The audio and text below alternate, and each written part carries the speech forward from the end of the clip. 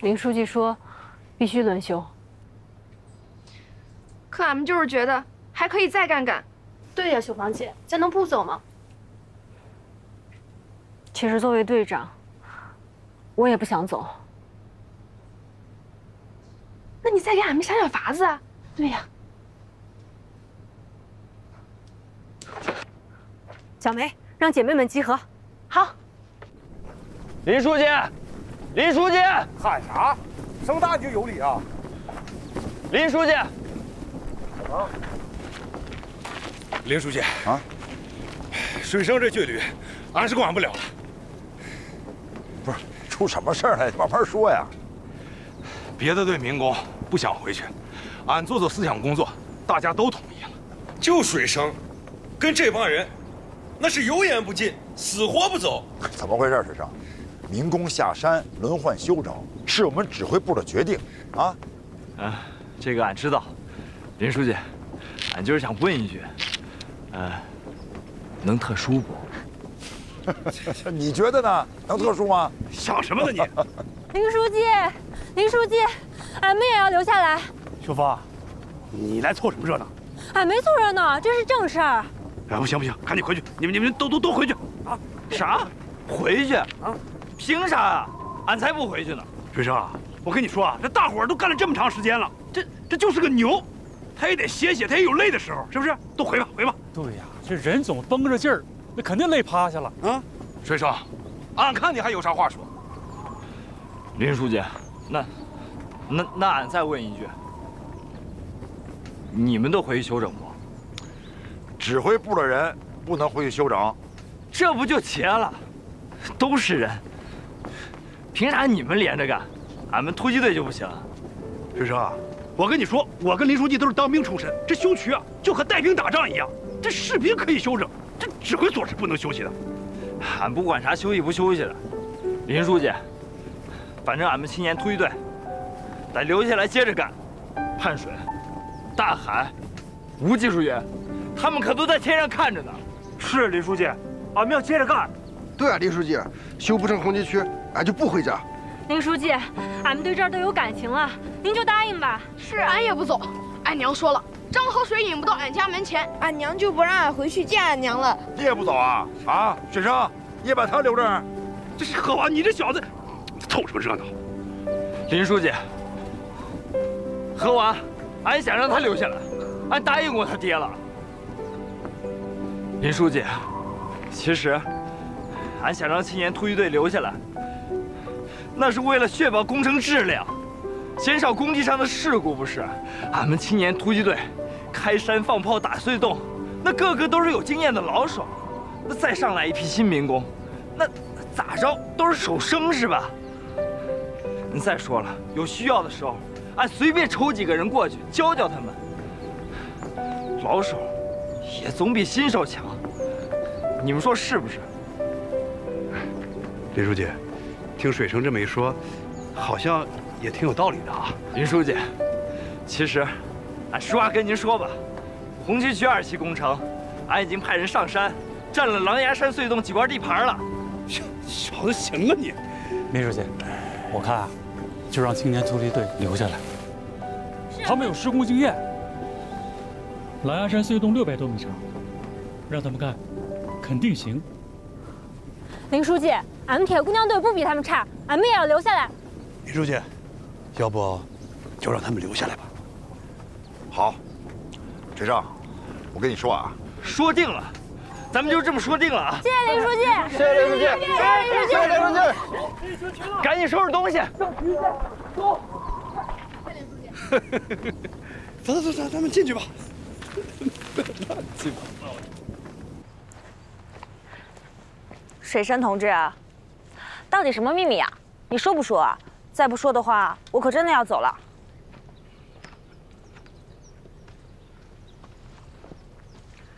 俺的秘密就是，俺不走了，因为红旗渠离不开青年突击队。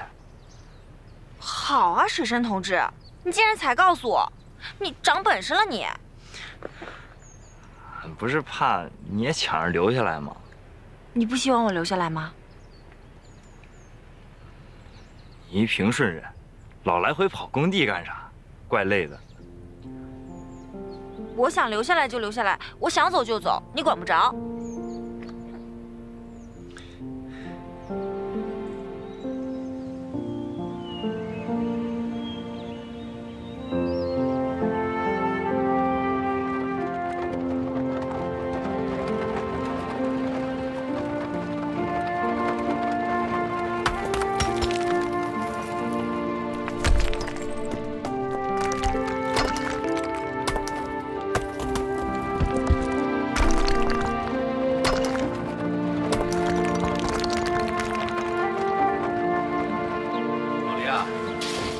趁着最近下了几场大雨，这旱情得到了缓解。哎，上气下好，群众们呢又连名带夜的往这地里头送粪。今年咱们全县七十多万亩的耕地全都下雨了。冬天要能再下几场雪，明年夏粮丰收啊是没问题。是啊，只要这秋种啊跟上了，明年呢粮食就接上茬了。红旗渠的这粮食就没有后顾之忧了。粮食是没有后顾之忧了，但资金问题还悬着呢。红旗渠到了临县境内，赔偿山西方面的事儿是不是得考虑呢？这个事儿考虑的是不是早了点儿？你说咱们紧紧巴巴的啊，攥紧了这个指头缝，咱省着用这三百万，也就能支撑到二期工程完工吧？你说现在就赔偿了山西方面，咱红旗渠以后用钱，那怎么办？也是啊，也不知道红旗渠申报国家基本建设项目，中央部委给批准了没有？哎这事儿啊，回去商量啊。咱们的红旗渠项目啊，已经报给中央部委了。我估摸着啊，最晚明年开春，这个就能批复下来。所以说呢，山西方面的赔款问题呢，咱们先拖一拖，等项目批下来以后再把钱给人家。大家同意不同意？同意，同意，同意。手里这点钱啊，咱们攥住了，全都用在工程上面啊。嗯，好。嗯老林，根据一期工程情况，红旗渠二期工程河口到穆家庄这一段，虽然渠线比一期短，但狼牙山隧洞是块难啃的骨头。我看二期工程要全部完工，少说也得一年的时间。一年的时间，对，这么长吗？林书记，省里方书记电话。啊，我接个电话。嗯。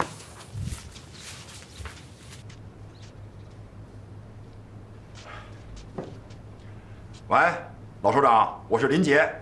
林杰同志，红旗渠二期工程你们开始动工了吧？已经开始动工了，群众修渠的热情啊，非常的高涨。老首长，红旗渠申报国家基本建设项目有消息了吗？林杰同志啊，这个电话我本打算晚几天再打给你们。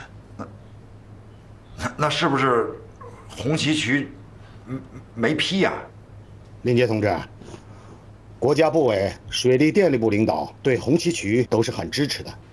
目前的状况你们也是知道的，全国人民都在勒紧裤腰带，红旗渠项目的申报不巧啊。我明白了，我明白了，老首长。林杰啊，不要灰心。虽然红旗渠的申报材料，相关部委暂时没有讨论，但赵副部长让我转告你，他还要争取中南局给你们一些支持。好，您替我谢谢赵副部长。困难是暂时的，相信有党的坚定领导，新中国不会被任何艰难困苦所压倒。只要我们度过了这一段艰难困苦的时期，相信新中国一定会掀起社会主义的新的高潮。老首长，您就放心吧，就算再难，临县人斩断临县缺水这个历史的决心是不会动摇的。而且我们相信，只要我们依靠群众的力量，团结一心，发扬艰苦奋斗、自力更生的精神，我们重新安排临县的山河，这个目的是一定能达到的，一定会达到。我等你好消息。哟，怎么了？是不是红旗渠申报上面没有批复？是。哎呀，说是再等等啊。为啥？这国家现在经济困难呗。那说要等到啥时候了吗？我就知道会是这样，现在连吃饭都成问题，哪还有钱修渠啊？嗯，这干什么呀？这是一个个的垂头丧气的。哎，是不是都是人心不足蛇吞象？啊！当初咱们决定引张入林的时候，省委地委已经说了，不给咱们一分钱支持，咱不也照样干了吗？对吧？大不了咱们回到原点，这国家又没管咱们要钱，对不对？老林啊，不是我说泄气话，这眼看着前面就见亮了，这扑腾一脚又掉井里了。老孙，话也不能这么说，成了当然好啊，不成咱们就还自力更生呗。对呀，也是这个理儿啊。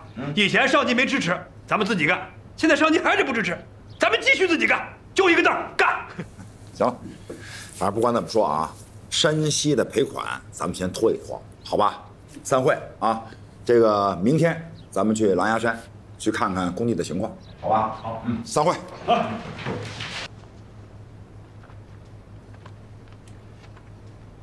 这张图上有几个点，我还没有完整的思路。但是，孙总指挥啊，狼牙山隧洞是红旗渠几个最关键的地方之一。如果把红旗渠比成一个人的话，这条隧洞就是人的嗓子眼儿啊！小吴还在的时候，最担心的也是这条隧洞。我记得他当时还画了一张隧洞剖面图，在哪儿呢？赶快拿来我看看。陆老师，在你这儿呢。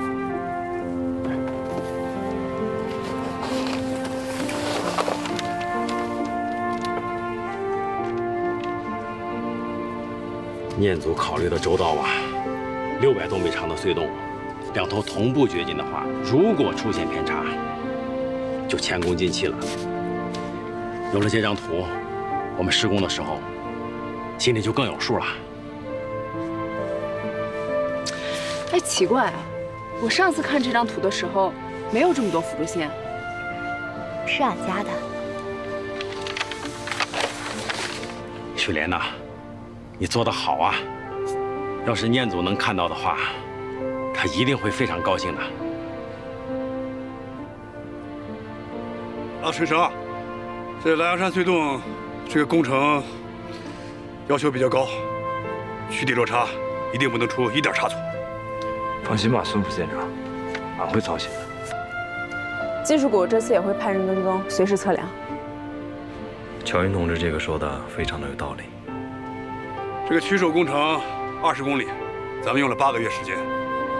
狼牙山工程短一些，我觉得应该能提前，也算是一种胜利吧。哎，孙总指挥，这条隧洞六百多米呢，我估摸着可能要拖狼牙山工程的后腿啊。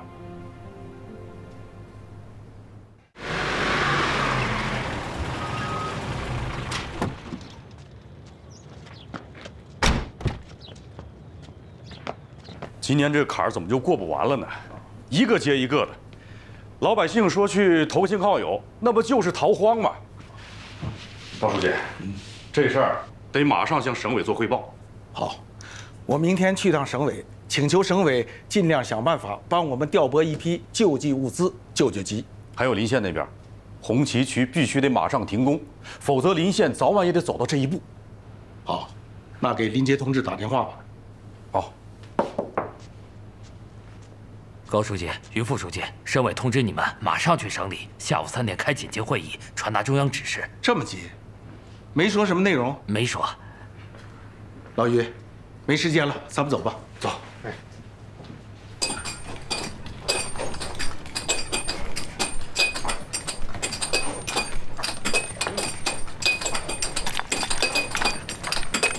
来，全都停下，把钢钎给我。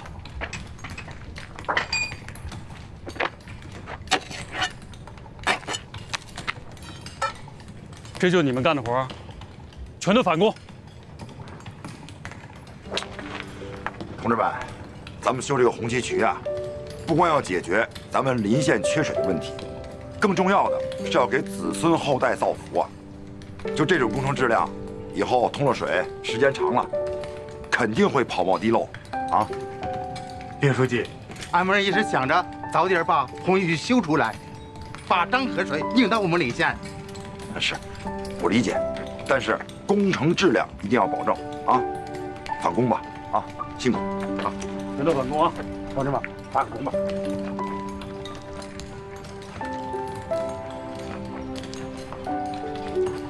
哎，我跟你说啊，就这些民工呢，为了赶这个进度，他们不保质保量，这种问题啊，在取手工程的时候也出现过。老罗，要跟各公社干部说清楚，谁出了问题，以后大会上要严厉批评。哎呀，这也不能完全怪他们。取手工程通水成功，群众们看到了漳河水流到临县的希望，民工啊难免产生急于求成的情绪。是这个我理解，但是保证工程质量是个大问题，咱们怎么解决呀？哎，老林，咱们取手工程那个办法就不错了。哪段渠线，哪个工社修的，立碑为证。对，把负责人的名字刻上去，谁出了问题就找谁。行，那既然这个办法管用，咱们呀就把这个立成一个规矩啊，咱们工程质量就能够保证了。嗯，走。我是李明阳，钱秘书长。什么？明天上午赶到地委？钱秘书长，啥会啊？好，我知道了。明天保证不耽误。好。小周，哎，叫崔师傅来县委出趟车，去工地接林书记。好。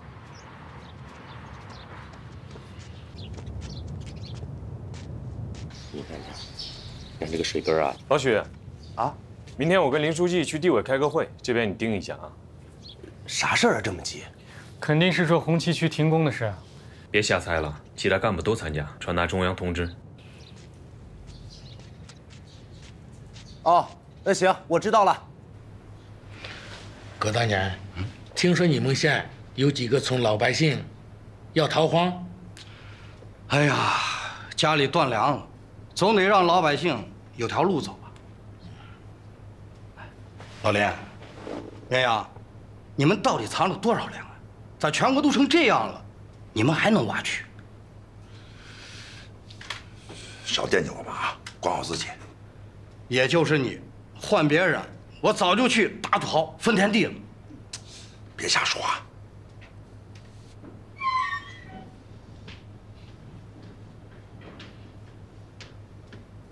同志们，高书记和于副书记昨天在省里面开会呀，连夜赶回来。现在，高书记向大家传达中央紧急通知。同志们，我就长话短说了。当前的形势和去年那场灾害，给我们国家的经济带来了极大的困难，全国陷入了粮食短缺的严重困境。鉴于这种情况，中央决定实行全国百日休整，各种基本建设项目一律下马，全力以赴保人保畜。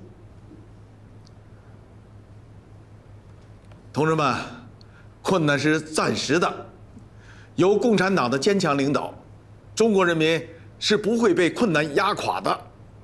但是，我们也必须正视困难。中央百日休整的要求，各级政府部门要严格执行。林军同志，红旗渠二期工程进展到哪一步了？那个，这河口到穆家庄一带已经全面开工了。停下吧，民工全部回家休整。高书记，这个中央的指示呢，我们非常理解。但是我们的实际情况啊，我们不要找任何理由，红旗渠必须停工，没有任何商量的余地。高书记，呃，放心吧，回去我安排一下工作，红旗渠呢可以暂时停工。呃，同志们都知道了啊，中央现在要求呢百日休整，全国所有的大型基建项目呢全部停工。这是因为咱们国家的粮食供应呢出现了问题，党和国家呢考虑到人民的利益，所以才有指示。我倒是想了想啊，这个粮食问题呢，在咱们临县倒没有那么严重。那具体到红旗渠工程呢，咱们就算继续做下去，也不会饿死一个人。李书记，既然咱们临县不存在这个问题，那咱红旗渠工程就不该停啊！老孙说的对啊，红旗渠不能停。我同意。老徐，你也同意他们呢？我咋就不能同意了？我也同意。哎哎哎，都别着急，听我把话说完，好不好？中央的要求我们一定要执行，但是呢，红旗渠也不能停工。那这不互相矛盾吗？你看又着急，我直说听我把话说完。百日休整，对吧？只有百日嘛，那一百天之后呢？我们不能让老百姓失去修渠的信心，对吧？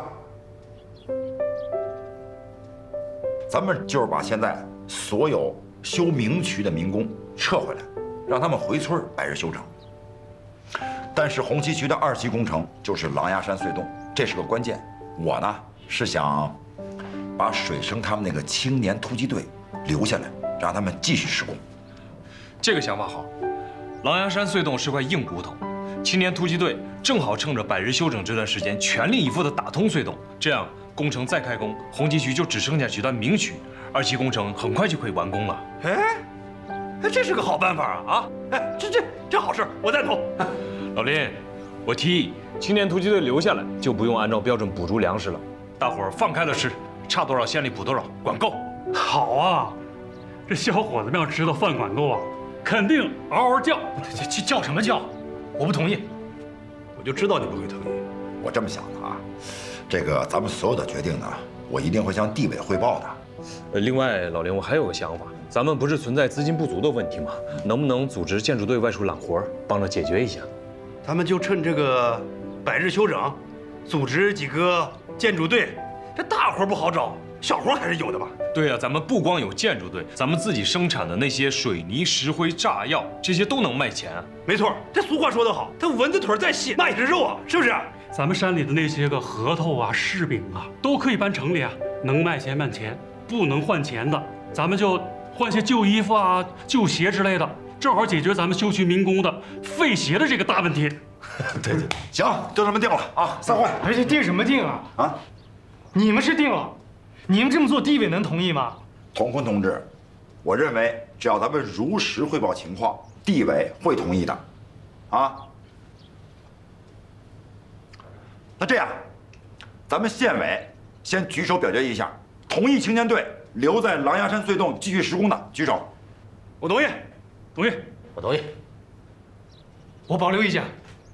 我就知道你会保留意见。我保留意见的权利都没有了？有啊。你是县委常委，你当然有这个权利，只要不背后打小报告就行。我既然敢保留意见，还需要打小报告吗？哎，你又不是没打小报告，我以为我不知道吗？老孙有不同意见很正常嘛，你先坐下，你先坐下。哎，老林，我有个提议啊，你说童坤同志工作能力这么强，外面关系也不少，咱们组织建筑队外出揽活，为红旗渠筹集资金这个事儿，能不能交给他负责？老李。你别说，李县长这个提议非常好。交际这个事儿，谁也比不上童坤同志，对不对？那你就辛苦了啊！我同意，同意，同意，太好了，太好了！很好，你们这是排除异己。哎，童书记，我们是集体的决议。哎，老童，行了，行了，行了，先这样吧，啊，散会，啊，散会。老高啊，林杰同志性格非常固执，以他的脾气，临县县委能不能坚决执行百日休整，我表示怀疑。要不然，我安排一下。怎么安排？给童坤同志加点担子。不听话，不听话，不听话！大家都别吵了。来日休整是国家的政策，啊，休整了以后，到时候再干啊。俺们不想停。林书记来了。林书记，红旗渠真的要停工？是这样啊，大家伙的心情啊，我非常的理解，但是中央的通知我们必须要执行。林书记，能不能跟上头说说，咱别停工了？百日休整，说白了呢，就三个月，好吧？大家伙回去好好休息休息，三个月之后，我们红旗渠照样开工，好吧？哎，人领导说的对，回家休整休整也挺好呀。哎，这么干下去，还不如把人给累死呢。你上一边去。好了，散了，散了，回去了，回去了。大伙赶紧收拾东西吧！啊，月底之前都下山。对，收拾收拾，下山了。都是天当被子，地当床，两个肩膀一个头，有啥可收拾的呀？走吧，走吧。哎，水生，你先别走呢，啊？咋？不是月底前才下山吗？还有三天呢，俺必须留到最后。水生，让你留下就留下，不留，水洞还能再挖进几米呢。走，青年突击队的，再干三天。行了，大家伙赶紧收拾收拾下山了啊！走吧，快去吧。哎，好。走吧。哎，陆老，林书记，孙总指挥，停工了，我也回去了。好啊，坐我的车，我送你。没想到是以这样的方式离开，我还想着把这条渠修完呢。不过我也看了，后面也没什么技术难关了，一些小的问题，乔英和水莲也都能做。希望我再回来的时候，是红旗渠通水的那一天。好，好，咱们路上聊啊，路上说。走，上车吧。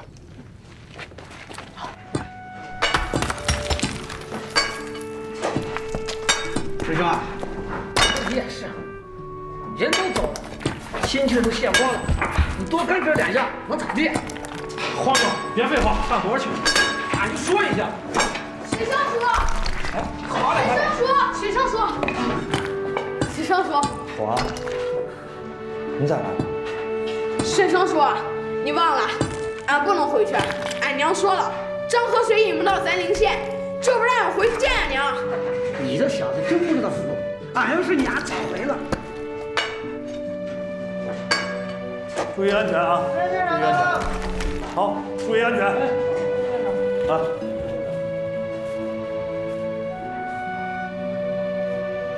怎么了？这是，一个个都没精打采的。孙副县长，你们不用再嘱咐俺了。三天，就三天。俺们多砸一锤是一锤，多干一点是一点。干完，俺们保准下山。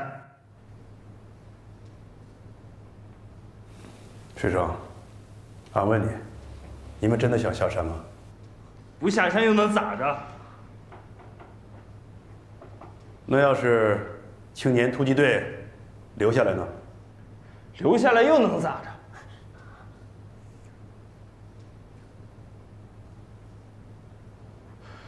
孙副县长，你说啥？县委决定，红旗渠明渠停工，青年突击队留下，继续打通狼牙山隧洞。好。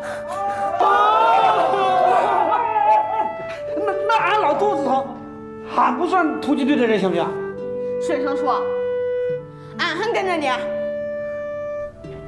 水生，县委商量决定，青年突击队粮食不按标准，放开吃，管够。太好了，太好了！哎，大哥，俺生是突击队的人，死是突击队的鬼，俺也不能做逃兵啊，是不是？你就是怕下山没得吃。说啥呢？俺是舍不得你们。行了行了，大家高兴归高兴，但是真要留下来，一定要注意安全。学生啊，这段时间我跟罗局长不能留在这儿，这山上的事儿就全权交给你和乔英同志。孙副县长，你放心吧。学生，一百天，我给你一百天的时间，一百天后你要给我一个打通的狼牙山隧洞。俺也要留下。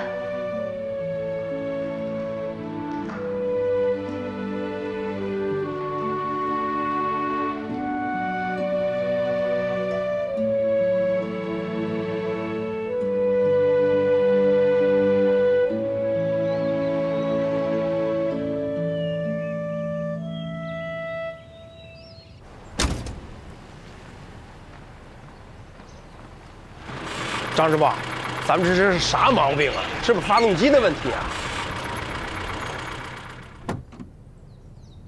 知道了，我检查检查。检查，这赶紧看看吧，这这可耽误事儿啊！老杜，哎，童副书记，车坏了。嗨，老毛病，这车又坏了。张师傅正修着呢。哎，童副书记，你这打哪儿来啊？我给县建筑队揽活去了，刚好经过这儿。哦，你们呢？这是去哪儿啊？我们这给狼牙山隧洞送粮食去了，顺便给他们捎带点物资。狼牙山隧洞，啊？行，我知道了。车能修好吧？没问题，老师傅修车。好，好。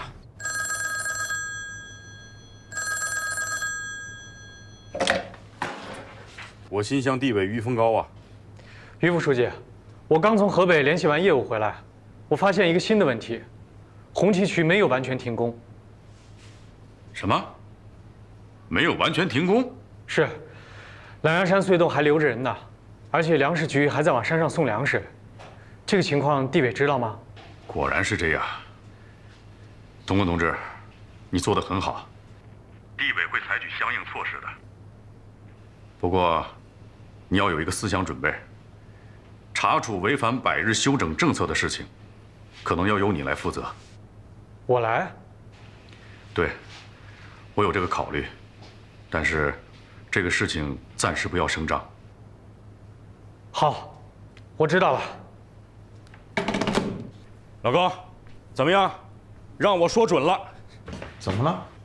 怎么了？嗯，这个林杰依然是我行我素。红旗渠表面是停工了，但是狼牙山隧洞背地里还在偷偷干着呢。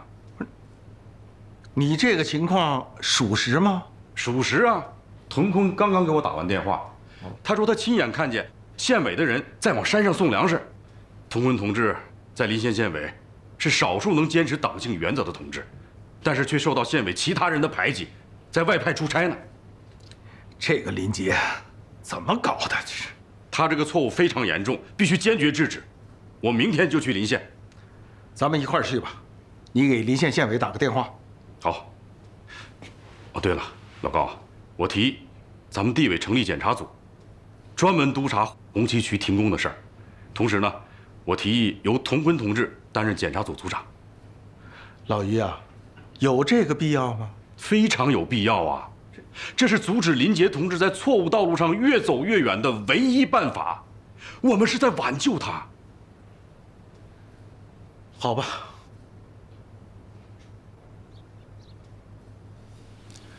林杰同志，红旗渠是不是没有全部停工啊？只有青年突击队留在了狼牙山隧洞，把青年突击队留在狼牙山隧洞。我们县委是经过讨论以后才决定的。别跟我说这话，你们临县县委还不是你这个书记说了算啊？这不是林书记一个人的决定，是我们整个县委集体讨论决定的。没错，当时县常委会举手表决的时候，我投的赞成票。我们几个也投了赞成票。我当时就不赞成。你呢？我我是赞成的。你们的党性原则都去哪儿了？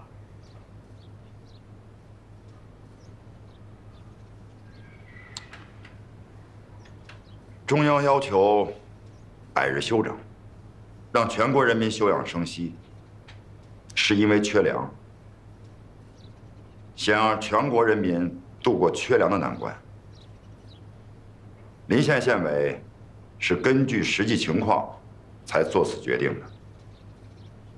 临县缺粮情况没那么严重，现在不是粮食的问题。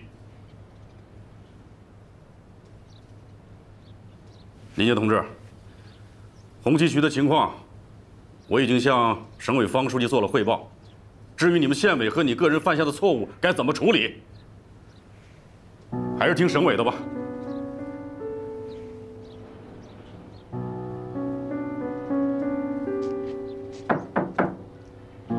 林书记，地委转来省里方书记电话，找高书记。喂，方书记，我老高啊。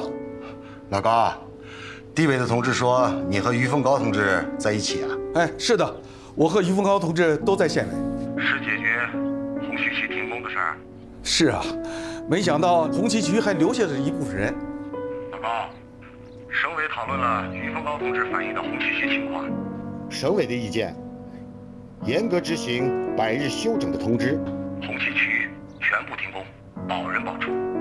好的，我马上向县委的同志传达省委的指示。告诉县委的同志，眼前的困难会过去的。至于于凤高同志要求省委考虑林杰同志在工作中存在的不足，省委的意见顾全大局，不拘小节。工作中犯了错误，改了就是嘛。这一点，你也向于凤高同志通报一声。好的。哎哎，我能跟方书记说两句吗？哎哎，方书记啊，这个林杰同志非要再跟你说几句，你看，你把电话给他。喂，方书记，我向您汇报一下啊。林杰，不用汇报了。按省委的指示决定，人全部撤下来。方书记，但是我们临县……林杰同志，不要再争了。我们不能无视灾区灾民严重缺粮的严酷事实。如果临县因为红旗渠重蹈覆辙，这个责任县委、地委、省委谁都承担不起。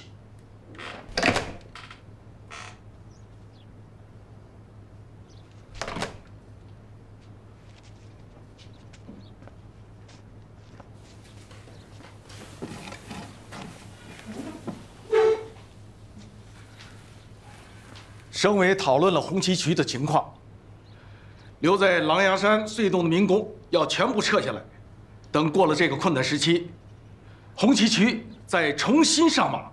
高书记，省委没有其他的指示？哦，省委指示，林杰同志工作中是有不足，但是要顾全大局，不拘小节，有了错误不要紧，纠正过来就是了。好吧，我对此保留个人意见。省委对红旗渠的指示都清楚了吧？于副书记，我们临县有临县的特殊情况，别跟我说什么特殊情况。狼牙山隧洞的人全部撤下来。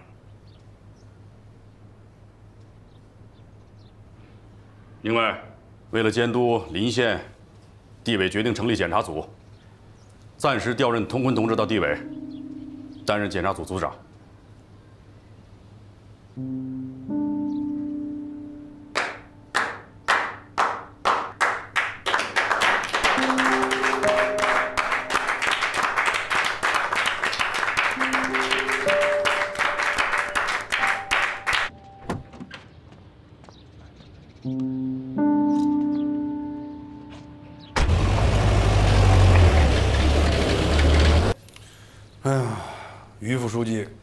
根本就听不进去咱们汇报。老林，青年突击队撤下来。我看啊，还是先撤人吧。竟然说咱们是虚夸蛮干！咱们上马红旗渠是县委经过充分的调查研究，根据我们的实际情况才决定的。他怎么能说我们是虚夸蛮干呢？他这方书记啊，这么说咱们，我认为可能是因为修红旗渠的事儿，他遇到压力了。他是怕万一咱们临县出了事儿，无论是省委还是地委，都承担不起这个责任。老林啊，我觉得，要不就先撤下来吧。你是县委书记，你承担的责任比谁都大。我不想你出事儿。